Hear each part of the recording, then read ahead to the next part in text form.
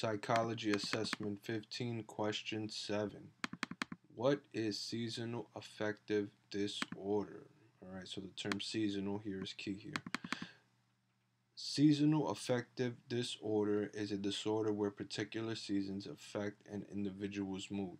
The amount of light seems to be correlated with this disorder.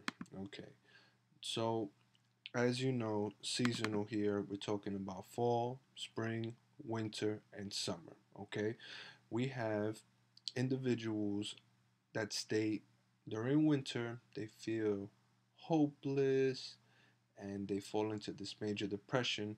And once spring arrives and summer's here, their mood elevates positively.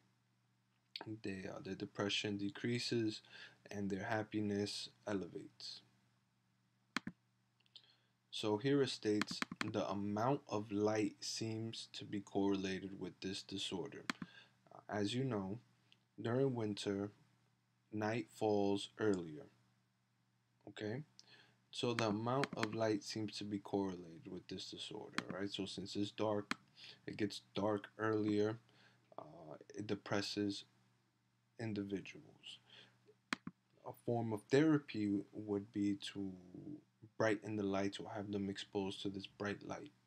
That's an, that's one way of uh, treating this disorder here. Seasonal affective disorder.